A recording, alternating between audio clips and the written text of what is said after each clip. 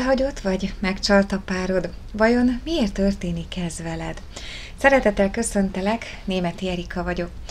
Ahhoz, hogy mindezt megértsük, ezt a témát, amit most választottam, ahhoz egy picit át kell helyezkedjünk annak az embernek a helyébe, aki most éppen távozik. Úgyhogy kérlek, hogy ülj át velem abba a székbe, mint hogyha te lennél az, aki a kezdeti nagy szerelem után a kapcsolat hanyatlásával úgy döntesz, hogy elmész a kapcsolatból, tovább lépsz és elhagyod a párodat. Nézzük rögtön az elején, hogy mi is történt, hogyan alakult ez a kapcsolat, hogyan estetek ti egymással szerelembe.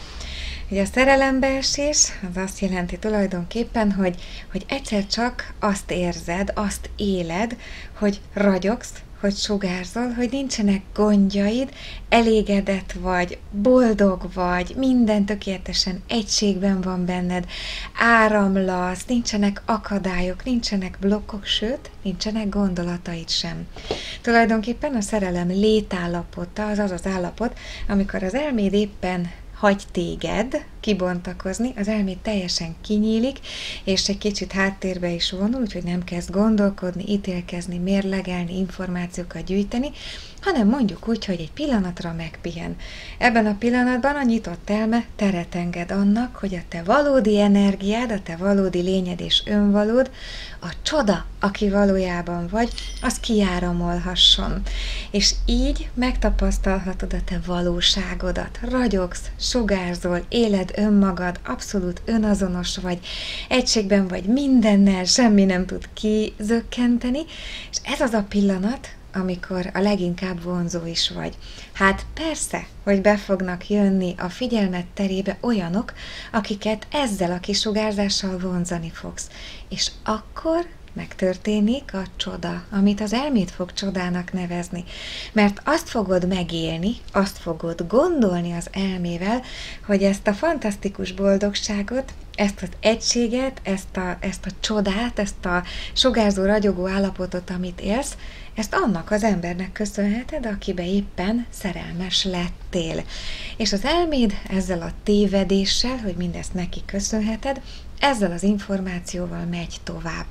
Természetes, hogy az elméd ezek után úgy gondolkodik, hogy ezt az állapotot konzerválni kellene, úgyhogy meg kell szerezni ezt az embert, aki neked ezt a szerelmes, boldog élményt ajándékozta. Hát mi is történhetne más, mint hogy mindent elkövetsz azért, hogy őt hazavidd, megszerezd, és, és minél előbb szoros kapcsolatba, állandósuló kapcsolatba lépj vele. Egyet felejtesz el, hogy ő valójában csak egy tükör. Te nem azért ragyogtál, mert ő ott volt. Te nem azért hogy ennyire fantasztikus, és nem ilyen, nem azért csodálatos a kisugárzásod, nem azért éled legjobbik önmagadat, mert ő megjelent, hanem ő azért jelent meg, mert te ilyen voltál, ilyen vagy. Úgyhogy hazaviszed tévedésedben a tükrödet, őt magát, és szeretnéd, hogy ez tartós legyen ez az élmény. Mert hisz az ő tükrén keresztül sokkal inkább visszaigazolva látod azt, hogy te egy csoda vagy.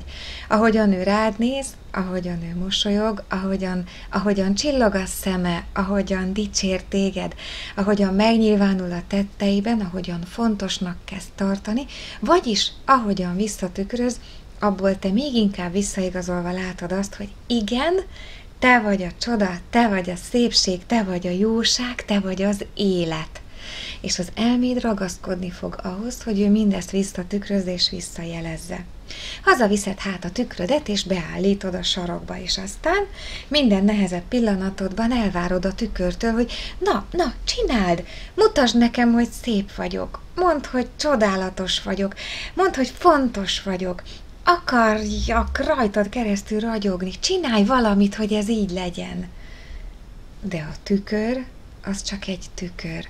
A tükör mindig csak azt fogja neked visszajelezni, amit te abba a tükörbe beleadsz, ahogyan te abba belenézel. Amikor éled a csodát, a szerelmet, akkor nem fogsz a tükörbe igazából belenézni, pontosabban belenézel, de nem fogod igényelni a visszajelzését. Figyeld meg, leginkább akkor várod a párodtól azt, hogy ő tükrözze neked, hogy te fontos vagy és egy csoda vagy, amikor épp te magad se éled ezt. Vagyis belenézel enerváltan, fáradtan, energiahiányosan ebbe a tükörbe, és azt várod, hogy a tükör azt mondja neked, hogy te az élet maga vagy. Te vagy a csoda, te vagy a legfontosabb dolog, te vagy az energia, te vagy a ragyogás, te vagy a sugárzás. De a tükör nem fogja egy idő után ezt mondani, mert nem éled ezt. Nagyon fontos lenne, hogy azt lásd, hogy a szerelem az a te élményed. És tulajdonképpen innentől kezdve a párkapcsolatban is minden a te élményed és a te érzésed. A másik ember tettei, gondolatai, szavai és megnyilvánulása, azok mind róla szólnak. De az, hogy azok benned hogyan nyernek értelmet, hogyan gondolkodsz a párod tetteiről és szavairól, hogyan fordítod azt le a saját javadra vagy károdra, az megint csak rólad szól. És legtöbbször az történik, hogy minél inkább hiszed azt, hogy ő a tükör a kulcsa a te ragyogásodnak, elégedettségednek és boldogságodnak, annál biztosabb, hogy függeni is fogsz tőle, a véleményétől, a hangulatától, az akaratától, a tetteitől. Egy idő után elvárod mindenben, hogy ő olyan legyen, amilyennek te szeretnéd. Hogy ő csináljon valamit, mondjon valamit, tegyen valamit, viselkedjen úgy, hogy te minél jobban és minél nagyobb biztonságban élezd magad mellette. Függésbe kerülsz az elvárásai csapdájába, miközben önmagadat már alig éled. És meg fogod fogalmazni, ha ő nem úgy tesz, ahogy te szeretnéd, hogy ez a kapcsolat kiüresedett, hogy ő a hibás, mert ő nem adja meg neked azt, amit te szeretnél. És nem látod igazából a valóságot. Azt nem látod, hogy már te nem éled önmagad. Azt a ragyogást, aki te valójában vagy, Rég lecserélted az elvárásaidra. Neki tulajdonítod, neki adtad, és elvárod, hogy tükrözze vissza. De hogyan tudná visszatükrözni?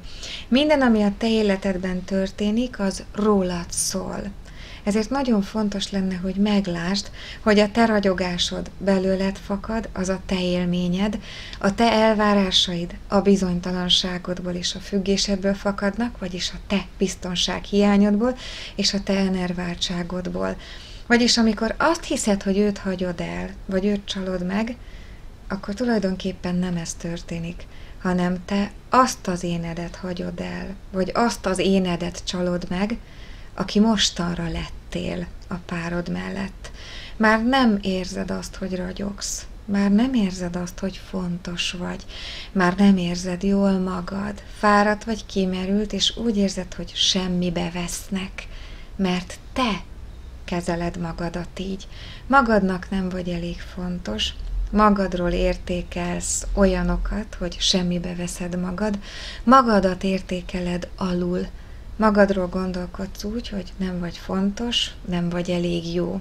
És hiába várod a másiktól, hogy mindez megváltozzon, először a te fejedben kellene megváltozni a gondolatoknak magadról. Miközben azt hiszed, hogy őt hagyod el, vagy őt csalod meg, valójában attól az énettől akarsz megszabadulni, aki már nem éli önmagát, akiben nincs erő, akiben nincs lelkesedés. Tehát most visszahelyezkedünk abba a székbe, aki te vagy, akit elhagytak és megcsaltak.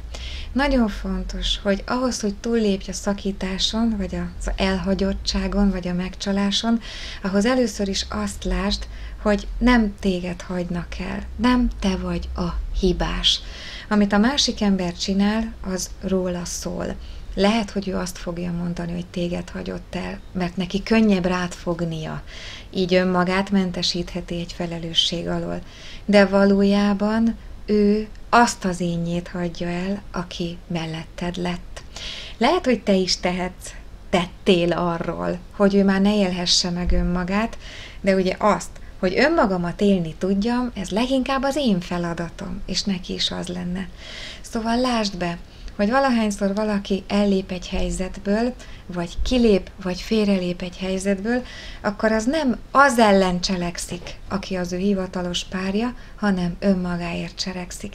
El akarja hagyni fáradt, enervált, nem igazi ényét, és vissza akarja nyerni azt az önvalóját, akiben energia van, élet van, egy csoda van.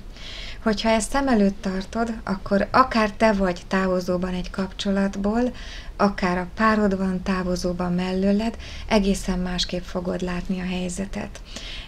Azt javaslom neked, hogy foglalkozz azzal, hogy te mindig élhessd magadban a csodát, hogy ragyogni tudj, hogy sugárzó lehess, hogy boldog lehess, és tudd, hogy ezért elsősorban te vagy a felelős, erről elsősorban, vagy ezért elsősorban te tehetsz. Remélem, hogy sikerült újra egy kicsit felnyitnom a szemed, más megvilágításba helyezni mindazt, ami egy kapcsolat elején és végén történhet veled és benned. Ha szeretnél további felismerésekre jutni, akkor gyere tarts velünk önismereti kurzusainkon is. Ide fogom tenni az egyik kurzus linkjét a videó alá. Illetve, ha szeretnél otthon fejlődni, akkor szerezd be önismereti könyveink egyikét. Nézd, itt vannak körülöttem a hátam mögött a polcon, és ide fogom tenni azt a linket is, ahol ezekről olvashatsz, ahol ezeket megvásárolhatod.